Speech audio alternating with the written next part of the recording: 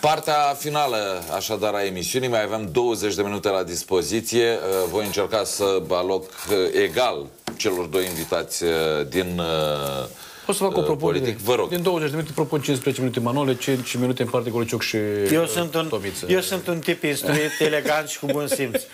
nu mai fă propuneri în acestea bădărănești. Indecent. Cam eu să le pun, că eu chiar am să le iau de bune să abandonez, și am să... am să abandonez eu și am să, am să fiu cu minte, ascultător și am să știu că șansa aceasta nu va mai fi și am să tac. Eu mai am șansa să vorbesc chiar și pe câmpuri înflorite, știi? Mulțumesc, mulțumesc. Deci nu se poate.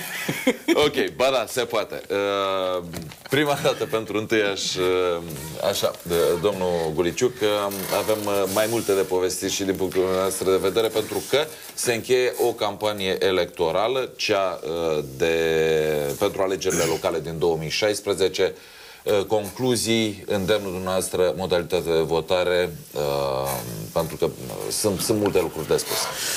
Da, uh, suntem pe final, uh, e joi, e oficial, uh, discutând de campanie, mai, se mai poate face încă și mâine până la ora 24, excludem doar cea pe audiovizual, care se încheie mâine de dimineață. La șapte trecute fix nu se mai poate face campanie în, pe audiovizual. Însă rămânem cu cealaltă, încă până mâine, spuneam seară, cu celălalt tip de campanie, door to door, alături de cetățeni.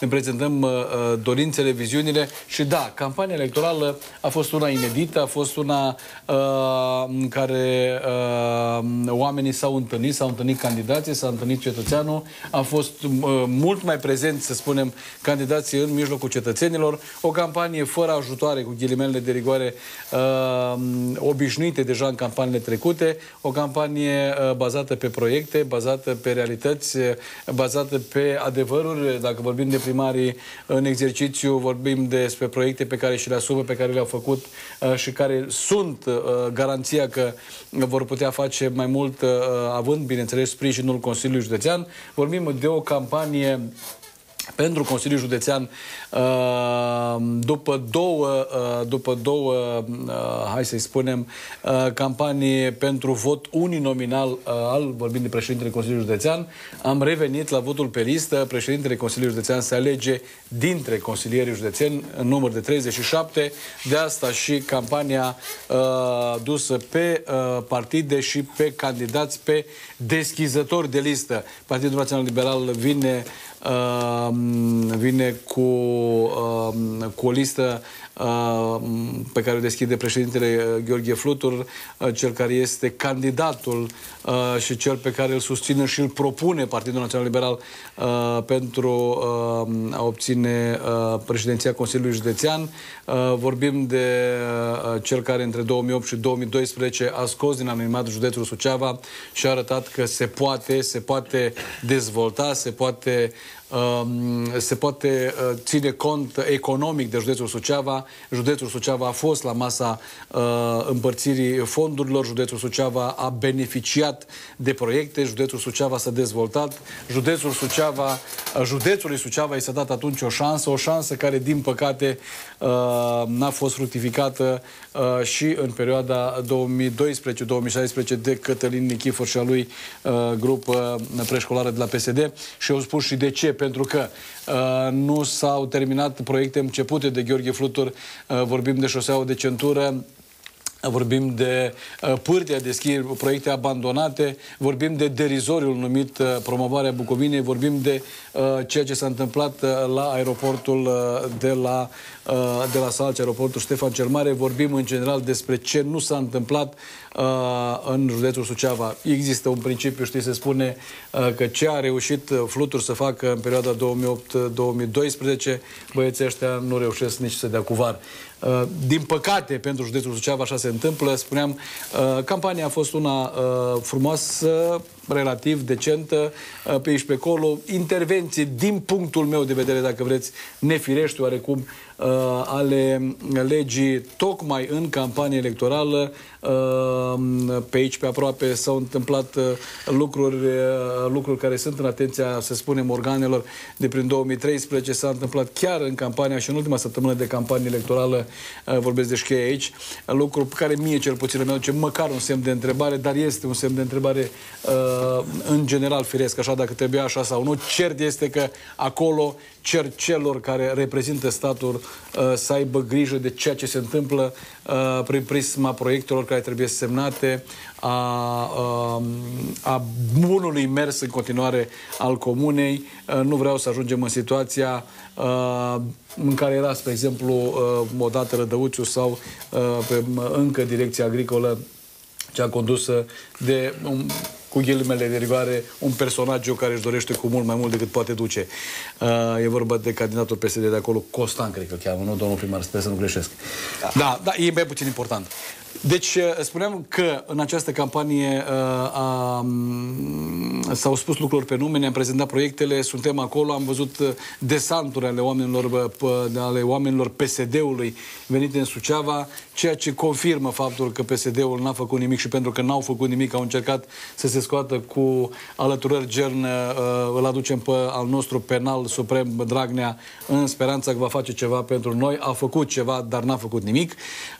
A făcut, a fost aici și Ponta, la fel cu uh, tot felul de bazaconi, l-a fost, l-am văzut și pe Dendi, spuneam pe Teodor, au fost, a fost foarte multă lume, ceea ce nouă, uh, celor care facem politică și celor cărora, ne, cărora le pasă de județul Suceava, uh, ne dă garanția că proiectul PNL, proiectul lui Gheorghe Flutur de dezvoltare și de repornire a județului a creat frisoane și este foarte bine primit de către, de către populația județului Suceava. Uh, urmează uh, după campanie, mai e un picuț astăzi, mâine e greu de spus cum se va derula în continuare campania, pentru că, din păcate, uh, de pe la 12 intrăm sub incidența unui cod galben care ține până mâine seara la ora 9, însă urmează ziua votului. Ziua votului este foarte, foarte importantă. Ceea ce solicităm noi, ceea ce ne dorim noi este ca dumneavoastră să mergeți la vot, să participați în număr mare la vot, să le arătați lor Uh, că vă pasă de dumneavoastră, să le arătați că uh, aveți încredere în ceea ce uh, propune PNL-ul având la frunte pe Gheorghe Flutur. Mai mult decât atât, la capitolul procedură, trebuie să știți, e o procedură uh, nouă, nouă cu care nu sunteți obișnuiți, de asta trebuie să știți ce se întâmplă. Uh, autoritatea electorală a uh, venit ca să asigure, să spunem, credibilitatea acestor alegeri locale. E pentru prima dată când se întâmplă. Uh, au venit cu acele, cu acele uh, vin cu acei operatori uh, care au uh, uh, acele tablete. Uh, oamenii, tot ce înseamnă uh, carte de identitate va fi scanată înainte de a începe procedura efectivă de vot. Deci ceva de genul, veniți, vă căutați pe listă, vă gândeți poziția, treceți pe la operator care vă scanează buletinul și ca să confirme că e vorba de persoană și buletinul este valid, după care uh, se primesc cele trei buletine de vot. Sunt trei buletine de vot. Buletinul de vot pentru Consiliul Județean, buletinul de vot pentru Consiliul Local și buletinul de vot pentru primar.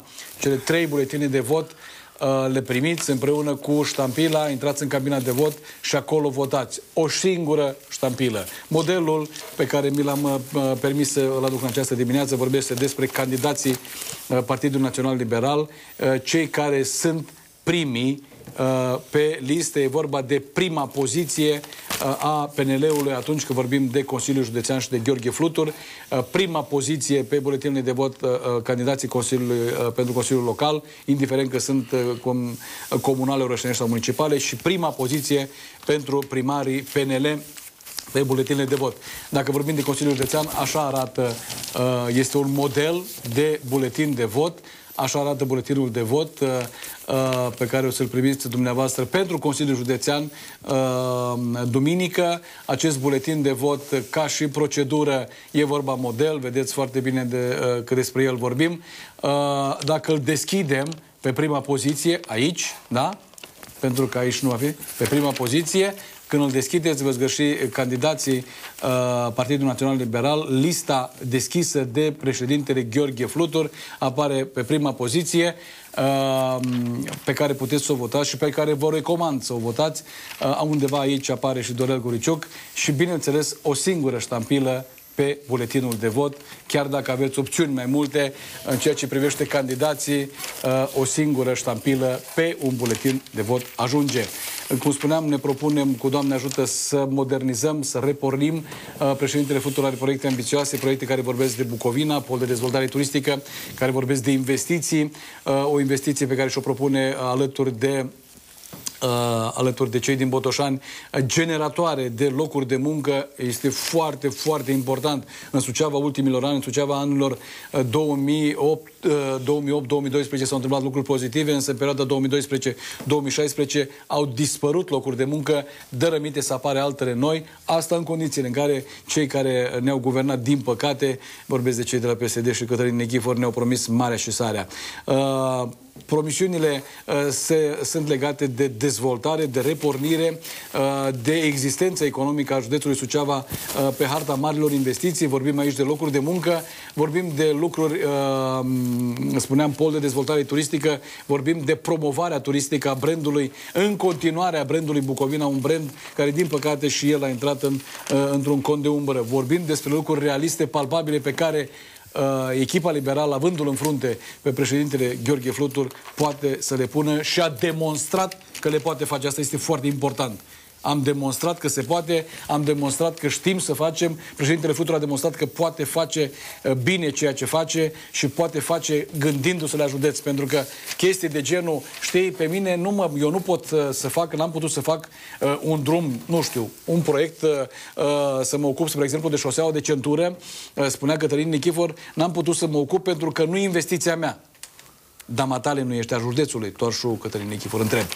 De asta e nevoie de cineva care să gândească, să trăiască și să iubească județul Suceava, uh, așa cum o face președintele Gheorghe Flutur, uh, să iubească județul Suceava, să iubească Bucovina și să promoveze și să aducă Bucovina acolo unde este locul. Urmează o perioadă uh, complicată, ceea ce spun și ceea ce vă rog este să fiți la vot, să votați și să votați pentru dumneavoastră, pentru proiectele care pot să facă din județul Suceava și vor face din județul Suceava uh, o destinație turistică, vor face din județul Suceava o destinație a investițiilor, vor face din județul Suceava o destinație economică, vor face din județul Suceava uh, un județ uh, care să fie acolo la masa marilor proiecte europene. Asta e de dorit, asta e de așteptat și asta o poate face echipa Uh, PNL, având în frunte, spuneam, deschizător uh, de drumuri pe președintele Gheorghe Flutur. Domnule Tomiță Onisi, uh, ne apropiem de finalul emisiunii. Practic, după cum spuneam, împărțim timpul echilibrat cât dumneavoastră și cât la Dorel și la dumneavoastră. Da, eu încă mai erau multe lucruri de spus, vreau să vă spun Am să vă rog eu... să le sintetizăm, că da, da. mai puțin timp la dispoziție. Dar încă n-am spus, era în anul 2015 și două zone din orașul Liteni nu aveam rețele electrice. Uh, vreo doi ani de zile am făcut În 2015, fel. adică anul trecut. Anul trecut. Foarte în tare. În orașul Liteni. În oraș? În orașul Liteni. Da. Nu erau uh, rețele uh, cu, de energie electrică și uh, vreau să vă spun, vreo doi ani de zile am fost pe la toate instituțiile. Și am văzut că n-am reușit, uh, cel puțin nu mi se pare corect ca ai unul să-ți spună așa niște condiții, să-i faci rețeaua și la urmă să te rogi și să-ți o primească ca să poată să îți dea curent să... să, să așa au făcut legea, da? Să, să, să o treci în proprietate. Te obligă să o treci în proprietatea lor, adică să le cedezi. După ce faci după investiția, ce bani. după ce cheltuiești bani și după ce uh, toată documentația, tot, tot, tot, uh, trebuie să le predai ca să poată să ei să le dea curent, să-i branșeze. Cadou. Uh, Cadou. Da, cadou. Și o deturnare de fondurile. Mi se pare ciuduit la limita legii. Nu știu dacă e posibil tehnic. Și eu uh, mi s-a părut uh, la cu ei și am încercat să, să, să rezolv pe diferite căi uh, și mi s-ar părea corect atâta timp cât tu vinzi curentul să-ți faci și rețeaua. De e obligația de a face data, doar că Uh, să spună că nu e oportun. Nu. Deci ea obligația să investească, să întrețină și să dezvolte această rețea în momentul în care au preluat uh, la niște sume, cred eu, derizorii întregul sistem uh, național. A, istorie aici. Da? Deci, da, intrăm un pic în istorie. Uh, și-au asumat dezvoltarea din punctul ăsta de vedere. Și-au asumat E normal să facă lucrul Dar ăsta. ce, ce ați făcut dumneavoastră în situația asta? Când, uh, Păi am bani din bugetul local, că n-am găsit altfel de resurse și am extins, uh, m-a costat undeva la uh, 1 miliard 800, două rețele de un kilometru jumătate, uh, una în zona, în lanul Gării, la noi unde erau foarte multe case construite într-o zonă lotizată de primărie în care nu era rețea electrică și una la ieșire dinspre Liteni, spre Valea Glodului, unde am extins rețeaua și o să vedeți în câțiva ani chiar o să se construiască multe case. Uh, N-am avut ce face și a trebuit să, să, și acolo să, să investim. Uh, Acum oamenii chiar se branșează la curent electric și sunt foarte mulțumiți. Să știți că un lucru foarte important, am acordat o, o atenție deosebită tuturor parohiilor din localitatea noastră. Anul trecut s-a, s-a, sfinț- s-a resfințit Biserica de la Siliștea, un locaș de cult foarte vechi, dar să știți că arată extraordinar. Uh, Bisericii Cănliteni sunt două parohii, la două parohii. Uh, avem un singur cimitir. În cimitir uh, am pus un sistem de iluminat cu lampadare și uh, în fiecare seară, când sunt sărbătorile, învierea sau tot, se vede ce frumos se vede. Uh, La Roșcani, la Vercicani, la Rotunda, peste tot am încercat să acord un sprijin uh, uh, acelor parohii pentru că ei sunt a comunității și vrem, nu vrem, mai de târziu sau mai departe, sau mai, mai devreme sau mai târziu, uh, cam toți ajungem acolo. și pe aceea și s-a trebuie să ne construit îngrijim și de lumea lucrul noastră, ăsta. pe- Uh, un lucru la fel de, de important uh, e stația de epurare, pentru că noi aveam o stație veche pentru uh, în jur de 2400 de locuitori. Uh, finalizăm, mai avem câteva lucruri de pus la punct și să pornim stația de epurare, pentru că am demisionat-o pentru 10.000 de oameni, ca să putem după aia să extindem și rețeaua de canalizare. Rețea pe care efectiv, acum ați văzut, se lucrează. Avem trei șantiere, deci lucrăm pe drumuri, lucrăm pe uh, extinderea rețelelor de canalizare și la stații de epurare și lu- lucrăm pe, pe extinderea rețelei de apă. Uh, chiar ieri am fost cu constructorul și avem câteva străzi, uh, strada Dispensarul, preotul Herțuc, uh, uh, strada Terasei, în care uh, uh, vor veni extinderea celor rețele și mai sunt și câteva străzi, ba, le-am uitat acum. Uh, avem serviciu de apă și canalizare și vreau să vă informez că avem unul dintre cele mai ieftine prețuri, uh, undeva la 3 lei apa cu canalizarea. Am venit uh, și am uh, mers pe politica 5 lei asta. mai ieftin decât la Suceava și cu 8 lei mai ieftin de, uh, și cu 7 lei mai ieftin decât la Botoșani. Vă metru spun cub, că intrare, am ieșire. mers pe politica asta ca să fac, dar să știți că acum în ultimii ani uh, chiar vin oamenii, uh, am zis că mergem să încurajăm să branșeze, știm, sunt, sunt localități în care s-au derulat astfel proiecte și oamenii nu se acordează nici la apă, nici la canalizare. Dar în urma lipsii precipitațiilor din ultimii ani, să știți că uh, cel puțin eu o spun din uh, fântânile pe care le avem noi la stația de, de, de pompare și de tratare, uh, nivelul apei a scăzut cam cu 3 metri jumătate. Pânza freatică. E o problemă și oamenii vin, uh, cred că în jur de 10 branșeri se fac aproape zilnice. uh, Vin N-au în- alternativă, Nu n-au ce face. au apă, nu este apă în fântâni și ne spunea domnul primar, rugăm, faceți cumva să, să, să, să extindem apa. Eu aș vrea uh, să, să, să pocnesc din de aici să le facem pe toate odată. Dar vedeți, e ca așa acasă. Încercăm pe rând să lucrăm și la școli, și la drumuri, și la apă, și la canalizare. Domnule Uh, primar, se termină emisiunea, mai avem două minute la dispoziție. eu uh, vreau să închei. Vă spuneam că avem Da, uh, știu, multe sunt de multe, vorbit, pare rău. dar uh, vreau să închei uh, sub uh, premiza că oamenii nu o se lasă păcăliți, uh, nu o să-i, uh, să chiar uh, să pună la suflet acele minciuni. Uh, Încă o dată am încredere că ei știu ce s-a întâmplat, știu când s-a întâmplat, știu cu cine s-a întâmplat și cred uh, cu siguranță că uh, vor avea încredere în continuare în, uh, în mine, în echipa mea și în toți acei care efectiv uh, se vede că se lucrează. Nu promitem și nu mințim. Am înțeles. Uh, un minut uh, cuvânt de încheiere de la dumneavoastră, un minut un cuvânt de încheiere de la domnul uh, Tomițo Minisi, candidat pentru funcția de primar uh, al uh, orașului Liteni. Cuvânt de încheiere din partea lui Dorel Guliciu, candidat pentru funcția de consilier județean. Uh, din partea Partidului Național. Înainte de a avea cuvântul de încheiere, vreau doar să fac o precizare. Le-aș sugera celor din Ipotești să, uh, să citească astăzi în obiectiv despre clanul uh, fostului primar Corjuc și ce își dorește de fapt el sau cum a fost guvernată comuna Ipotești uh, sub ce auspicii, vorbind de o mare familie, o familie care s-a căpătuit uh, uh, s-a căpătuit uh, pe ban public acolo la Ipotești și acum uh, își dorește așa o, o hegemonie, să spunem, vrea tata să-și pună băiatul. O să vedeți un material foarte, foarte interesant. Îl găsiți în obiectivul de astăzi, în pagina 5.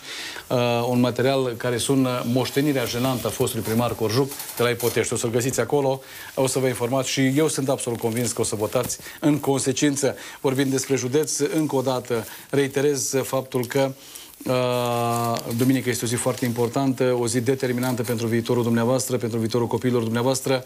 Uh, PNL-ul, echipa pe care o propune PNL-ul, avândul vârf uh, de lance, vârf uh, numit Gheorghe Flutur, omul care poate, știe, care a demonstrat uh, și care este preocupat, bucovineanul adevărat, suceveanul adevărat, omul cu suflet care își dorește uh, să dezvolte județul Suceava, își dorește să reportească județul Suceava. Ne găsiți pe prima poziție a buletinului de vot, uh, pe prima poziție la Consiliul Județeni, uh, pe buletinul de vot, pe prima poziție uh, Gheorghe Flutur, uh, pe prima poziție echipa PNL, atât la Consiliul Județean, atât la Uh, uh, la primar cât și la consilii locale. Uh, încă o dată, veniți, votați, aveți grijă, gândiți-vă la viitorul dumneavoastră, la viitorul copiilor dumneavoastră, a celor uh, pe care uh, ieri i-ați sărbătorit, e vorba, ieri a fost ziua copilului, uh, pentru că ieri am sărbătorit copiii noștri, gândiți-vă și a faceți ceea ce procedați în consecință pe data de 5, adică duminică. Domnule Tomiționisi. Și eu rog pe cetățenii orașului Liteni să aibă încredere în mine și în echipa mea de consilieri. Spuneam, o echipă tânără, uh, de oameni ambițioși, care fac parte din uh, multe domenii de activitate, de la învățământ, mici întreprinzători, uh, fermieri, tineri vreau să, să, să aibă încredere, să, să meargă în continuare cu noi și să aibă încredere și în președintele Gheorghe Flutur. Am spus-o peste tot.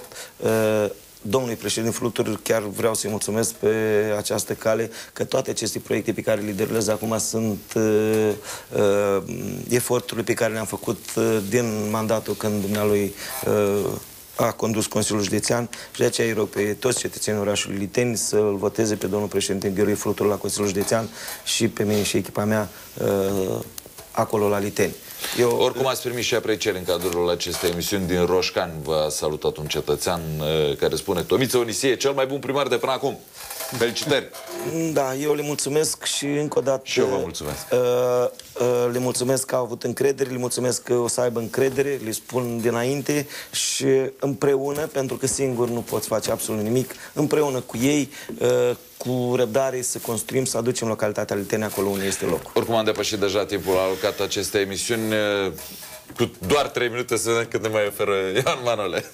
Nu, eu le doresc, doar, le doresc tuturor uh, candidaților pe care îi apreciez în primul rând și care uh, luptă pentru onestitate și adevăr, mult curaj, multă forță, echilibru și nu în ultimul rând mult noroc. Atât am avut de spus. Eu aș zice succes. Iar eu vă spun, stimați telespectatori, că e foarte important să mergeți la vot. Ce, cum, asta e treaba noastră uh, și, bineînțeles, dacă v-au convins cei care au fost aici la noi, e în regulă.